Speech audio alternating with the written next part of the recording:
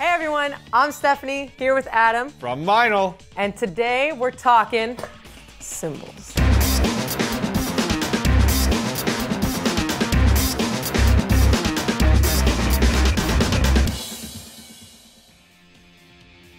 There are like three basic families of, of stack.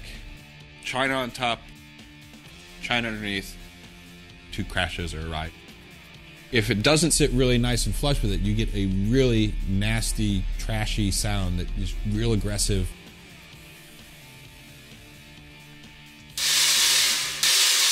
And you can change the tension to dry that out. Going down to the china underneath, it dries everything out a bit. Now, if the china is the same size, the cymbal gets larger on top, or the china gets smaller, you actually turn it into a very white noise, drum and bassy, very electronica sound.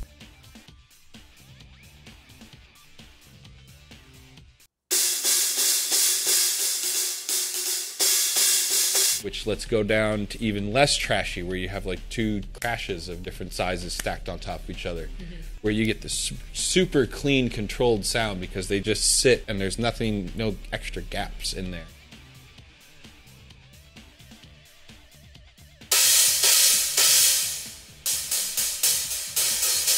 Great for just attacks or uh, like a splash alternative, or it could be a X hat alternative. And then with that, you get like all these trash crashes out there where you can align and misalign the holes, and then you get a different tonalities where if more air can bust through the cymbals in different spots. Yeah. Oh, that's And that's just a starting point. There's no rules with stacks. No rules with stacks.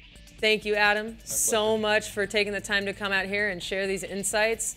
I know I found a lot of value in it. Hopefully, there's something that you learned today. If you're at all curious at test driving out some of these ideas, you know you can always come into a, a Lone Star location, either in Dallas or in Southern California.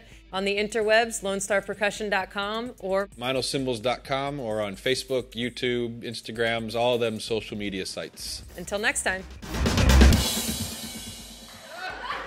Here's Adam. From Meinl.